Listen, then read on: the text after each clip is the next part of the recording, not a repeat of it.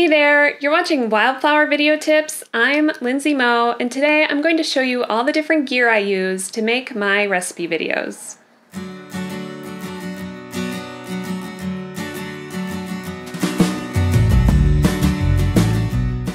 There's a lot of different gear that goes into creating recipe videos. What I'm going to share with you today is where I'm at right now. I kind of hesitated to share this with you because it's not the top notch, most professional level, but it's also not the intro level. So I'm kind of in between right now. Um, this is definitely not where I plan to be a year or two from now as far as gear goes, and it's definitely not where I was a year or two ago. So, when I first started out doing videos, I basically made sure I had a camera that shot video, and I had a very tiny, I had one of those Lowel Ego lights that I was shooting videos with, and that is definitely not enough light for shooting a video. I would set that up across from a mirror to help bounce it and just hope for the best. And they turned out pretty grainy, not super great, um, but it kind of got the job done. So the camera I was shooting on at that point was this Canon 5D Mark II, and this is still my primary photography camera. I love it. I think it works really well.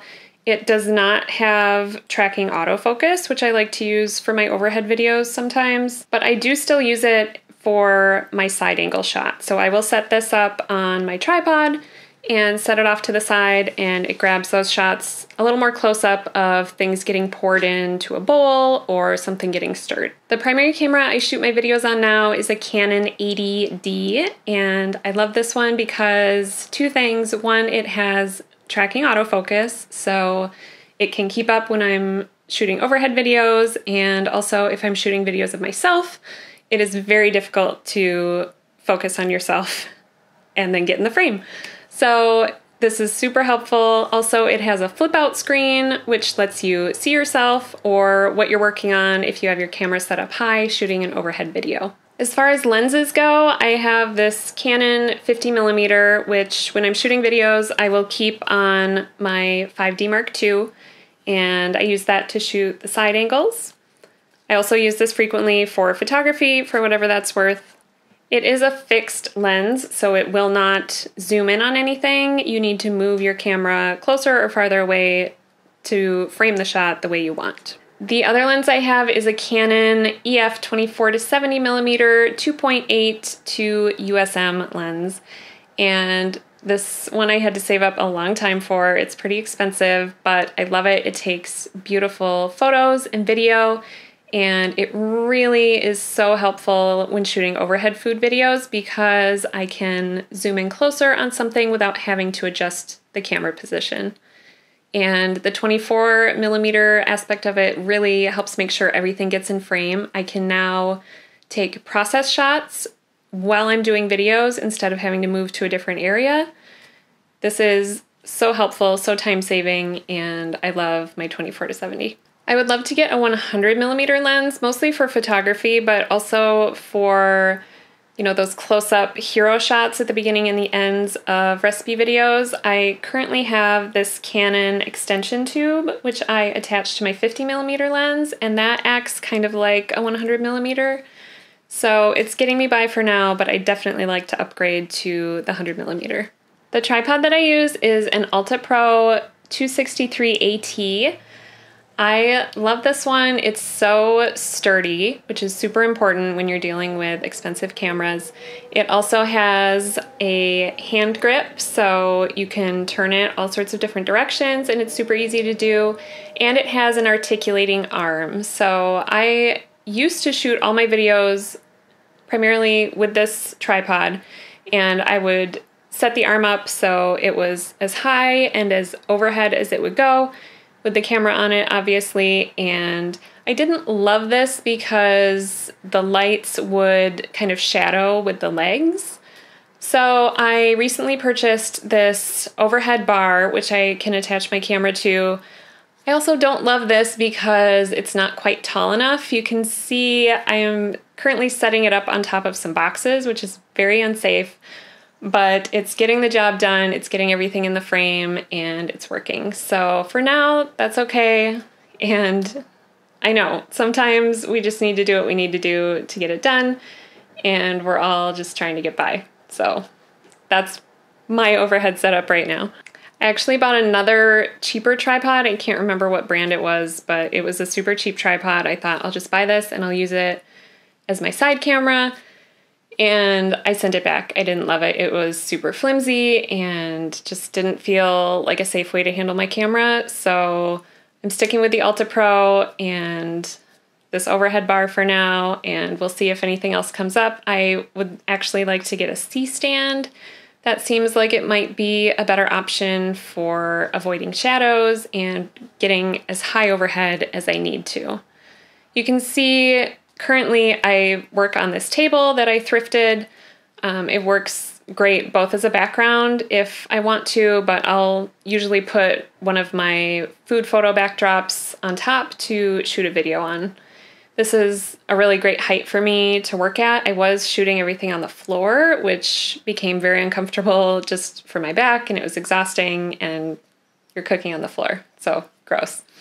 But for now, this is what's working out great for me.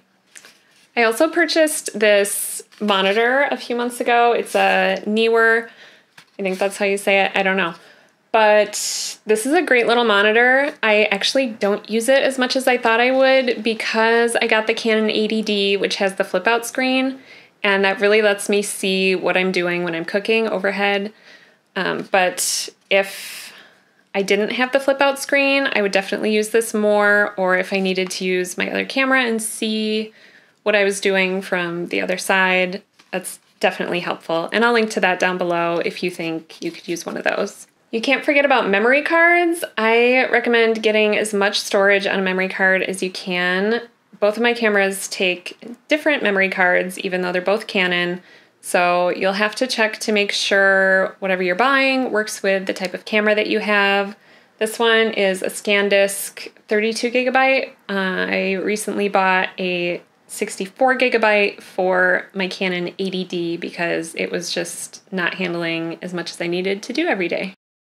I have a lot of different backdrops I like to use. Most of them I have made myself, and I can share a link to the tutorial on that in the description box below. But it's super easy to do. I just buy a few boards from Home Depot and some paint samples and go to work. I think it's so much fun to paint my own backgrounds and they turn out really well. So I also have a couple backdrops from Bessie Bakes, which I think are great. They look really nice and they're super lightweight. They're just the right size. I do find that they dent and crack really easily. I guess I'm pretty rough on my backgrounds, but I would hope that they would hold up a little better. But I do think when this one gets a little too rough for me, I'm probably going to buy another one. So whatever that's worth, I think they're great. I also recently purchased a couple backdrops from Replica Surfaces. I don't think these are going to be big enough to use in videos, but I might be able to use them for more of the hero shots. So far, they seem a lot like the Bessie Bakes backdrops, only smaller. I also purchased a few boards from Woodville Workshop, which I haven't been able to use yet, but you might see them in the future, and that's what those are. If you're working primarily with tripods or even with your lights, I would definitely recommend buying some sort of sandbag to weigh them down. I have been super cheap about this and I have not purchased sandbags. I've been using bags of rice or almond flour or whatever I have in my cabinet to help kind of weigh it down. And you just set it um, against the legs of the tripod to help make sure things don't tip over. I don't often use a reflector in my videos. I use it more in photography, but if you don't have strong lighting or you have some harsh shadows, you could definitely get a reflector. I'll leave a link below for mine. I'm actually using it right now to reflect because I'm in kind of a dark room and it's huge. So you can get all sorts of different sizes. Make sure you measure it and know what you're getting before buying.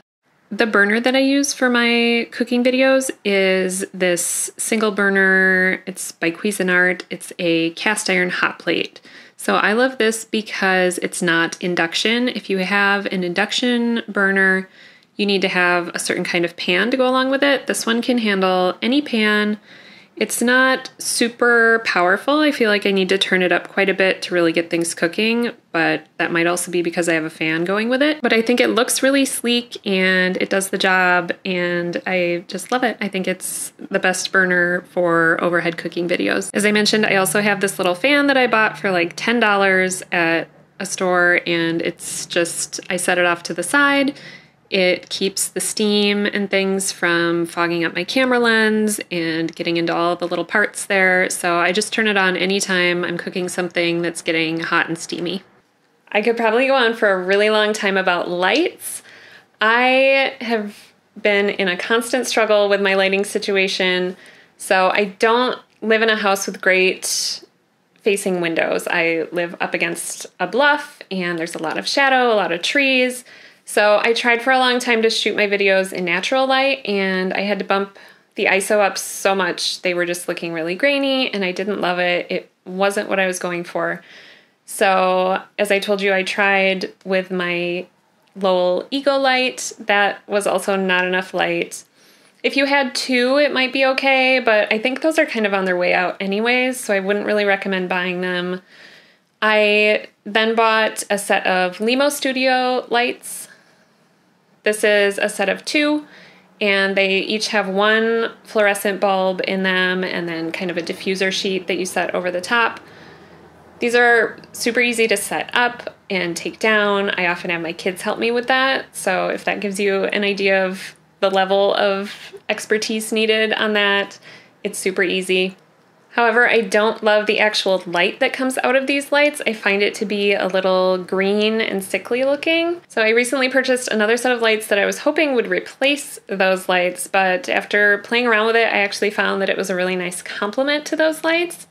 And you can see in my setup now, I turn them towards the ceiling and turn them up all the way, bring them as close to the ceiling as I can, and let that light bounce down onto the scene. This creates a really nice, soft, natural light. And I find that the balance between the two really creates more of a natural look like I was going for. And then I will set one of the Lemo Studio lights up directly across from where I'm standing and the other light I set off to the side so that it's kind of a fill light. I try to think of lights like they're actually windows. So if I was shooting in natural light, I would probably come right up against the window. And that's my thought process with setting the Lemo Studio light directly across from me. The great thing about these other lights, but I will definitely link down below, is they have a color temperature dial. So I turn them a little warmer to balance out the green in the Lemo Studio lights and it just comes out beautifully. I usually set my camera white balance to shade because it's kind of mimicking like a shady daylight situation. And then I usually have to do very minimal color correction in my editing. If you're shooting recipe videos, then you're also going to need to edit those recipe videos, and I recommend getting a really good computer, the best you can afford when it comes to video editing, because it eats up a lot of resources. I recently upgraded mine to a 2017 MacBook Pro. It's a 15 inch with a 3.1 gigahertz Intel Core i7 processor, 16 gigabytes of RAM, and a 1 terabyte solid state drive. This improved my workflow so much. It was taking me about an hour to encode, you know, a set of like four videos, and now it takes just a couple minutes. So this is a huge time saver, and if I can spend that time doing something else that makes money, it's also a huge money maker. So I know it hurts to spend a ton of money on a computer, but I definitely recommend it. It can save you so much headache and work. I don't usually record audio with my recipe videos, but if you're doing a hosted style cooking show or you want to include some voiceover for YouTube or something like that, then you'll definitely need some sort of audio recorder outside of your camera. I don't recommend using the audio on your camera, it just isn't as high of a quality. I use this H1N recorder, which you can see I have a little windscreen to go on the top and a little tripod, and I just set it up off to the side when I'm talking, and it records really well. You can also get a lav mic to attach to it, which you would wear on your shirt, and that would improve the quality even more. I plan to do another video about where I find the music for my recipe videos, so definitely stay tuned for that. But currently, most of what I'm using is Epidemic Sound, which is a subscription website, which again is kind of a painful price to pay, but if you're going to be using it, it's definitely worth it because the quality is great. As I'm sure you're well aware, I edit all of my videos in Adobe Premiere Pro. I just get the Creative Cloud bundle and I find that it's so useful, so helpful. Adobe Premiere Pro has everything you need to edit your recipe videos. It's not that hard to learn. I currently use the 2019 version, even though at the time of recording this video, it's 2020, and the 2020 version is out. The 2020 version has some sort of bug in it. It doesn't seem to affect everybody, but if it does affect you, there's like no getting around it. So it destroys every project I try to do, and that's not cool. I can't work like that. So 2019 is working great for me, and as soon as they fix that bug, I've got my ear to the ground, and I will definitely be using the 2020 version from there. I think that's it. If you have any questions, definitely let me know in the comments down below or head over to the Facebook group and I would love to start a conversation there. As you can see, I don't work in the most professional setting. This is the entryway of my home. I have to set it up and tear it down every time I make a video. So I currently try to batch about three videos at a time. I've found if I try to do more than that, the quality suffers because I'm getting too exhausted and I just want to get through it. And if I'm doing less than that, then it doesn't quite feel worth it. So I Definitely didn't start with all this equipment, and I don't think you need to either. If you have a camera and a little bit of light, I definitely think you can get started making recipe videos and just add more equipment as you can afford it and need to. Thank you so much for being here. Before you leave, I would love to have you hit subscribe right below this video and click the little bell to turn on your notifications. That makes sure that you never miss a video from me. I'm here every Tuesday with a new video. Thanks again so much for being here, and I'll see you next time.